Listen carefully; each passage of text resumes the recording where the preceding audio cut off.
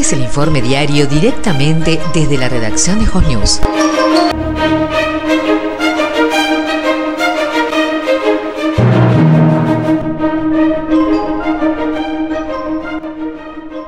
En julio próximo, un grupo argentino-brasilero hará oficial su interés público de desarrollar la ingeniería y viabilidad de un túnel ferroviario de 23 kilómetros cuya inversión bordeará los 2.500 millones de dólares, informó el ministro chileno de Obras Públicas, Sergio Vitar.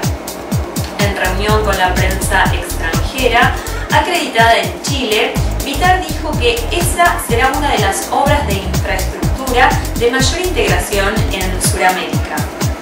Explicó que en principio se ha pensado construir el túnel a una altura de 2.500 metros sobre el nivel del mar, pero también se podría construir unos 200 metros más abajo, aunque ello significaría unos 500 millones de dólares más, ya que el túnel se extendería por unos 27 kilómetros.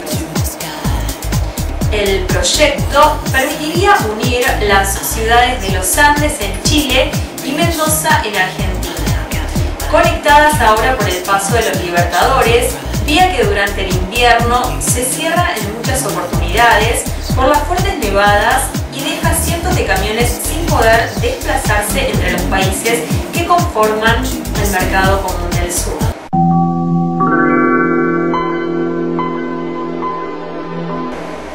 En el marco de la colecta anual de Caritas, se ofrecerá un servicio de test y pastelería exclusiva servido por reconocidas personalidades de la ciudad el jueves 19 de junio a las 17 horas en el Zoom de Verde que te quiero verde, ubicado en Córdoba 1358. Por primera vez en Rosario, la entidad contará con la presencia de importantes figuras locales como Julio Orselli, Marcelo Megna, Juanjo Cura y Andrea Fiorino, entre otras figuras. Ellos oficiarán de anfitriones y tendrán a su cargo el servicio de test y la inauguración de una tarde muy especial. Asimismo, el cierre de la velada estará a cargo del maestro Fernando Ciraolo junto al quinteto de cuerdas Strauss. El valor de las tarjetas será de 40 pesos por persona.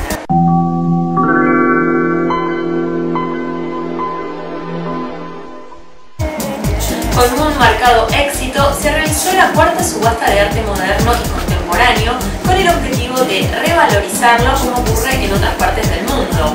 La muestra reunió grandes eh, y prestigiosas obras como Hidroactividad de Giula Cosis, realizada en la década del 60, con luz y agua móvil que se vendió en más de 200 mil pesos. Otro éxito del remate realizado en subastas Roldán fue la obra de Kazuya Sakai, una pintura que lleva el número 64 con su óleo sobre tela de 100 centímetros por 81 que fue adquirida en más de 48 mil pesos. También se destacó el trabajo de Jorge Maki sin título de 48 centímetros por 69 vendido en más de 34 mil pesos. En la jornada se subastaron numerosas obras de las más variadas técnicas y estilos compuestas por una gran cantidad de pinturas, esculturas de considerable tamaño realizadas en materiales diversos, fotografías contemporáneas y objetos de arte.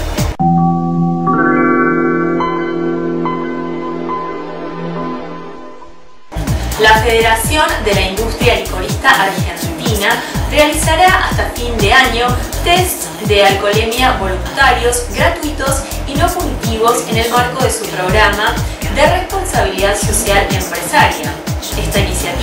Constituye una forma de concientizar a las personas respecto a los peligros que genera el exceso en el consumo de las bebidas alcohólicas y la conducción de vehículos. Para llevar adelante esta propuesta, un equipo de promoción previamente capacitado recorre zonas estratégicas de Capital Federal, donde se encuentran los bares y restaurantes más concurridos, invitando al público sin compromiso ni obligación alguna a medir su grado de alcohol en la sangre con la prueba del alcoholímetro. En caso que el dispositivo de control sea más de 0,5 grados de alcohol en la sangre, la federalización pone a su disposición un taxi que lo llevará hasta su domicilio gratuitamente. Estos controles gratuitos, voluntarios y no punitivos se hacen todos los jueves y viernes en el horario de las 20 horas hasta las 2 de la mañana.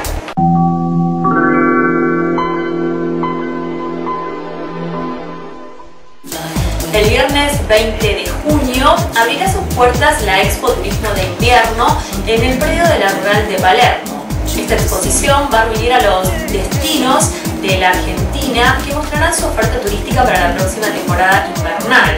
Si bien esta actividad eh, de las vacaciones de invierno se ve un poco amenazada por todos los conflictos que se fueron sucediendo días atrás, con esta exposición se busca reforzar un poco la difusión de aquellos destinos y fomentar el turismo para la próxima temporada invernal. El viernes será para profesionales y el sábado y domingo podrá concurrir el público en general. El acto oficial de apertura se realizará a las 13 horas.